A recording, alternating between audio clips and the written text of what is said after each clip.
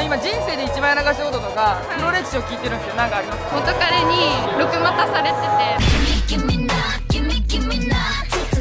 どこまでやられたの？浮気って。先輩になんかいろいろ言われたのが家とか行ってたからもしかしたらやっていややってます。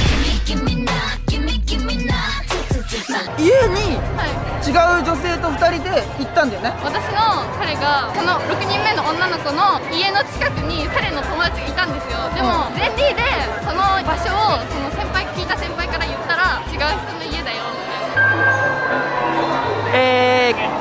影ちゃうかな答え。影？